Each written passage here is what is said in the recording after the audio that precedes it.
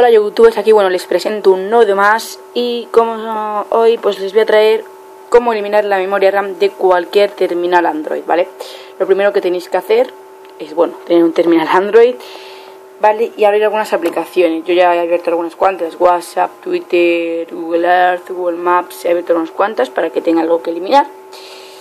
Y os vais, veis que tiene tres botones, ¿vale? El de opciones, que es este, el de atrás, como lo acabo hacer, y el de la pantalla de inicio, ¿vale? Pues el de pantalla de inicio lo mantenéis, ¿vale? Y arriba saldrá 290 eh, usados y 103 libres, ¿vale? Pues eso es lo que tenéis la RAM y para limpiarla podéis quitarlos así, uno por uno, o para saber cuántos ha quitado, le dais a esa alfombrita y se quitan solos y como veis 23 megabytes de memoria liberados.